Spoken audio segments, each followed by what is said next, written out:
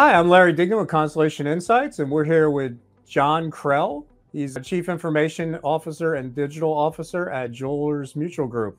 Hi, John. Thanks for joining us. Good morning, Larry. So glad to be here with you. So, first off, congrats on being in the BT 150. And I guess let's just start off with an overview of Jewelers Mutual Group and, and kind of what you're hoping to do.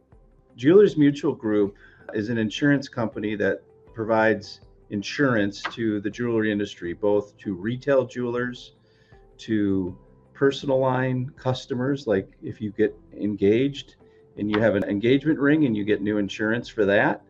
And we also have a lot of products and services to raise the tide of the whole industry. For example, we have a, a shipping solution. So we provide products and services to to the entire jewelry industry focused on insurance. So, how do you think about customer experience? Do you look at different experiences for like the end buyer, the personal lines, and the, the jewelers themselves? I guess, how do you break that down? Yeah. We look at it through, I, I actually think about it through four different kind of lenses. One, we have the retail jeweler that has an experience and a need. Our personal lines consumer has a has a different view and need our agents, which are very important to our company, has a has a third, and then our employees. And we want to make sure that all the experiences are what they need to either do their job or to purchase insurance or process a claim or work with consumers. It's it's it's very personalized based upon the type of need that you have. And how are you thinking through AI in terms of how it applies to those experiences? Yeah. I, I the way I kind of think about AI is, you know, our our ultimate vision is personalization at the point of interaction, and we feel that AI will help us really live that vision where we we can use AI to make the decision at the point of inter- interaction, provide us information to personalize the experience and meet the customer where they want to be met. So AI is a, a key enabler of our strategy to re- to create personalized, differentiated experiences for our customers. Do you think it'll play a role in terms of automation and moving processes, whether it's claims or the, those sort of back end things? For sure, we're going to be doing we're doing experiments today in providing improving efficiencies and automations and, and many of our processes, including claims. So it's it's really going to be a key component of creating operational efficiency and creating value that way beyond just driving personalization at the point of interaction.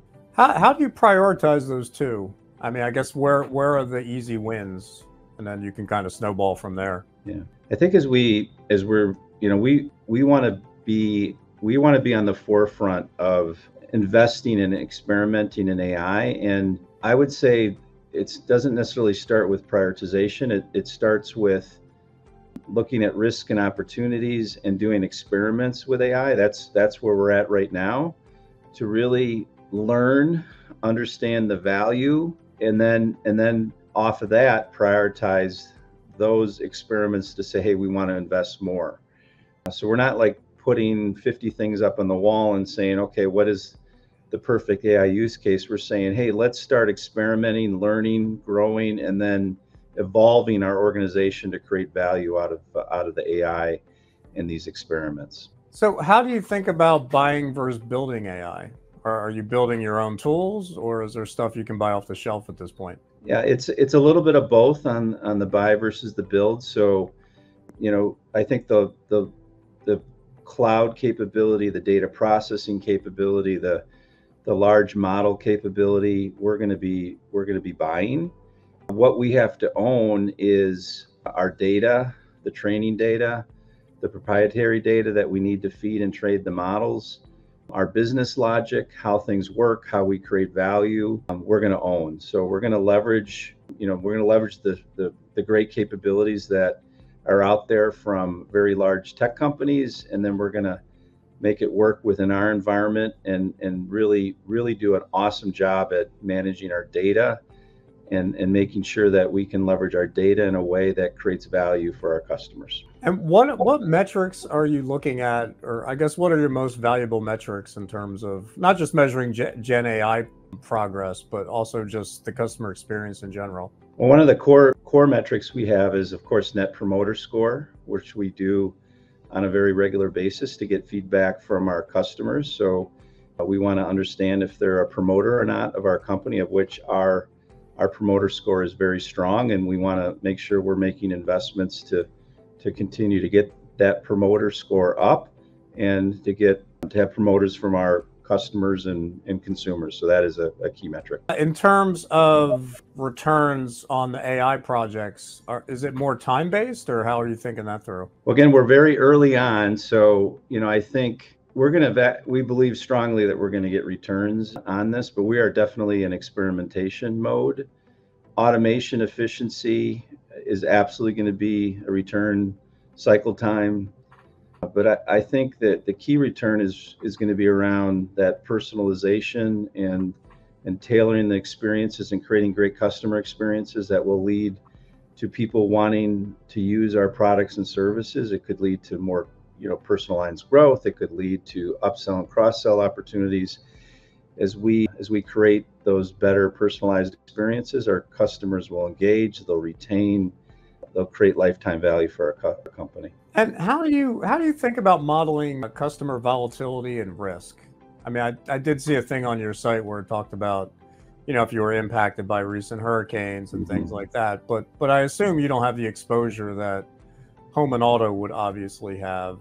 I guess how do you think through that? And is there is there an angle for AI there too? Yeah, measure you know leveraging it for volatility is definitely there, and we we are exposed. I mean, we have retail jewelers that we insure that are impacted by hurricanes and other events. Our personal line customers are also impacted. So, you know, we we have we have a team that is looking at the analytics off the the storm paths and, and trying to predict and trying to help our customers to get prepared for these events. So that is absolutely happening.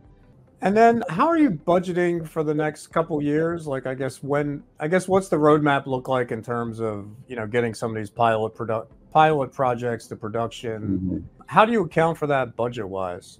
It's really a an innovation and experimentation investment bucket. So we we have an investment already going on, and we actually have a, a small team that is doing the experiments. We work as a leadership team to look at the different areas of our company that we want to do investments and experiments in. AI is and data is one of those. We'll be investing heavily in in preparing our data, getting it ready for the training models and, and the environment to, you know, to capture that data internally and externally to be used by the models. So that will be one foundational investment, getting the data ready. And then we're going to be investing in experiments. And when we when we see experiment creating value, we'll we'll invest more to to to unleash that value. How how important is it to think through future proofing I mean, if you track the models, I mean, it seems like every two weeks there's some big leap of some sort, and it's you know it's fun to watch. But I imagine planning planning to swap models around and things like that has to be a little jarring given yeah. how fast the industry is moving.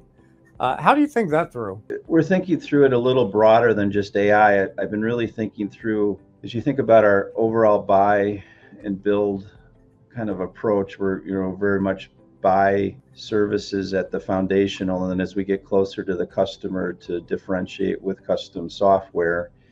And we are architecting our environment to be very microservice based, very open, very agile, so that we can rapidly swap independent components out so that we're not so tightly coupled that every time something changes, we have a big event. So that is like an end to end thought process on how we architect our systems from data, from technology, from how we do software engineering, how we do models, how we embed models. That that is that is a an area that we're spending a ton of time on to make sure we are future ready and that we're we can take advantage of new things that are coming out because they're coming out very fast. So the way you see it, the the more custom work and and I guess the secret sauce is basically the that access closer to the customer that's kind of where that's the competitive advantage pretty much we want to differentiate at the point of interaction and that's where we're going to be investing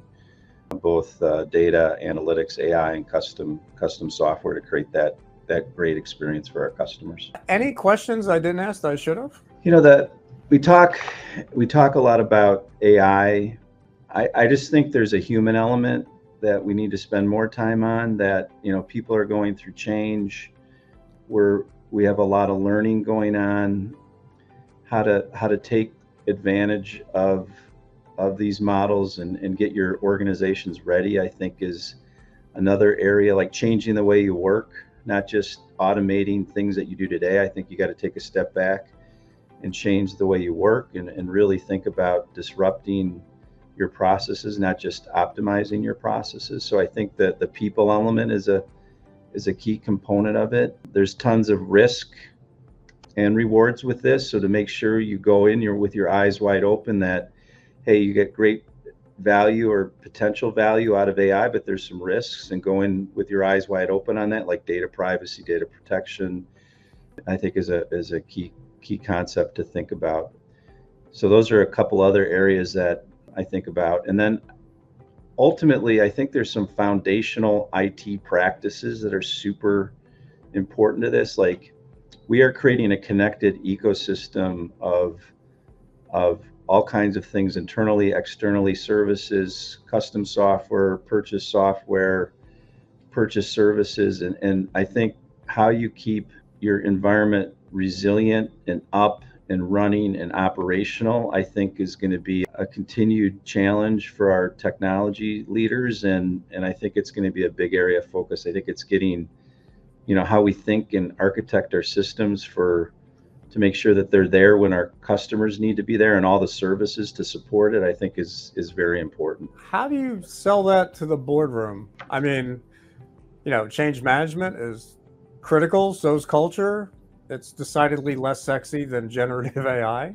How do you make that case to the, you know, to the broader leadership team? I I think it's like we we believe our people are our differentiators. So it's not, you know, AI is a tool. There'll be other tools so how we we operate is you know it's it's people are you know especially in the insurance industry it's based upon a, a promise to our customers. So you know we spend a lot of time about with with with our teams and and all different stakeholders on the importance of of, of talent the the mindset how we're going to work together how we're going to change we're going to work we believe that is a, a key component that is kind of built into our leadership team and, and, and is a big component of our of our company. So I'm not sure if it's a if it's a it's a sell in. I think it's a foundational way that we work and we believe. All right, very insightful. Good stuff. Thanks for joining us. All right, thank you, Larry.